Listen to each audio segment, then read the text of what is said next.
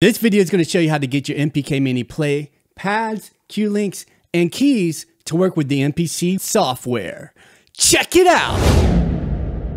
What's up? My name is Matthew Stratton. On this channel, I like to do videos to help you create music. So if you're new here, consider subscribing. So what I want to show you is how to get your encoders to work and your pads to work within MPC Beats. So I'm just going to open up a basic template. Once the template's loaded up, go ahead and go to your menu, go to Edit, and then go to Preferences. Once you're within the preferences, you need to go over here where it says MIDI slash sync. So nothing's connected now, so you need to make sure you have your MPK Mini Play plugged into your computer with the included USB cable. Now once that's plugged in, if you have this right here set on USB power, that's going to be your preferred way. And then right here, it's going to show up MPK Mini Play MK3. And we can see it shows up right there. Now, by default, track is selected here. What we got to do is push control to on. You can see how it went from that gray color to a white color. Now, when you turn this on, that's going to enable your pads and your encoders here to control MPC beats in the way that you want them to control it. And let me show you what I mean. Let's go ahead and get out of here. I'm going to press OK. Now to the right here, we need to make sure we have this clicked in. Okay, so we have this right here. It says MIDI learn. The important thing to do here is to enable this. So if this is not enabled, you need to enable this. So if it's turned off, make sure you do enable it. Once you have MIDI learn open, make sure you're on global. Once you go to global, right here on the far right, there's going to be something where you can click on it and then click new MIDI map. Once you click that, you're going to get a blank slate. So what that's going to enable you to do is assign all the pads manually. So once you get a new MIDI map open and you have it enabled, you need to click on learn. Now, once that is clicked, you can see how a bunch of things now highlight. These are all the different things that you can assign to your MIDI controller. So I'm going to start with the pads. Down here, we need to click pad A01. Once you click that, you're going to be able to assign your pad 1 on your MIDI controller to that pad in the software. Once you have all these pads assigned, you're going to be able to use things like Pad Perform, and the Pad Perform is going to work for you.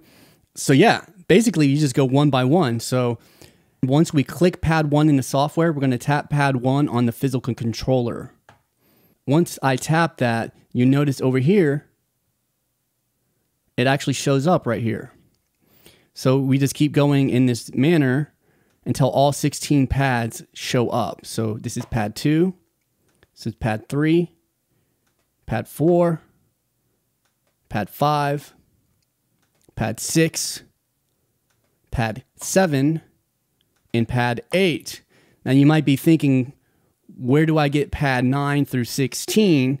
And how you do that is you actually push right here. It says pads A slash B. So if you press that, it's going to give you the next set of pads. It's going to change these eight pads to a new set of pads. So now you can go to pad 9 here, and then pad 1 can be tapped. And once you tap that, it's going to assign pad 9 to the second bank. Then we can go pad 10, okay, pad A11, pad A12, okay, and this is going to be pad A13, pad A14, 15, and then pad 16. Now, please note, pad A01 is right here, says 36, and then it goes to 37, 38, 39, all the way up to 51. And all of that is signified over here on the right as well. So at this point, our pads are completely programmed to work with the software. And what we can do now is move on to the encoders on the MPK Play. Now, the MPK Play does have eight different encoders that you can go ahead and program. Four of them at a time can be used. So you can see there's four encoders here. And then there's a button here that says knobs A and B. So it's going to work similar to the pads. So let's go ahead and click over here where it says view. And we can go to Q-Links. Okay, and that's just going to show us the Q-Links that we do assign when we do assign them. And then down here, you can see that this yellow is highlighted so all we have to do is turn the first encoder. Okay, so that encoder is going to be assigned with the first Q-link. So let's click on the second Q-link and then turn the second encoder. Let's click the third Q-link and then turn the third encoder, and then the fourth Q-Link and the fourth encoder. So now we have Q-Links 1 through 4 mapped out on our physical controller. And what we can do is hit this knobs button. So go ahead and press that knobs button. It's going to give us four new knobs.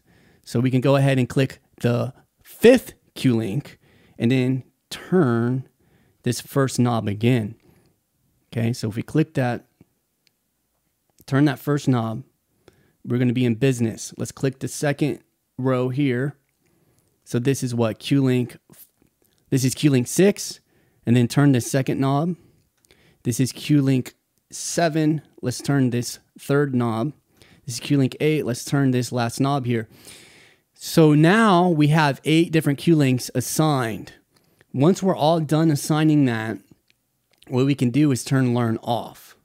Make sure you do turn learn off or you're going to accidentally program something that you don't need to program and then you might get confused. All right, so after you do that, you're going to be good to go with your pads. So I'm going to put my headphones on just so I can hear this pad. So that's pad A09.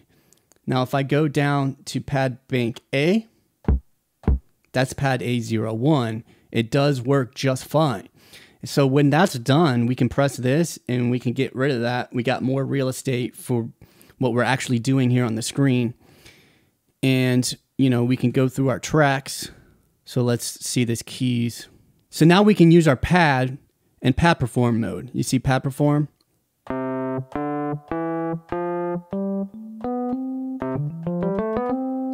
Right there we got a C major scale that we can play on the pads. It works perfectly, you know, and then we can go into pad perform and adjust all of these parameters how we want and then be able to play different scales. So if I wanted to do D major scale,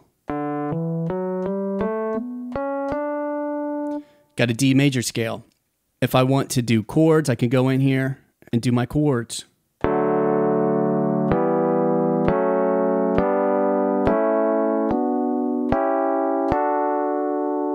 And if I wanted to go to the next bank, just press that pad button right there. Just like that. Now let's say I want to change the actual program level of this. I can go back to that first bank of knobs, use this first encoder.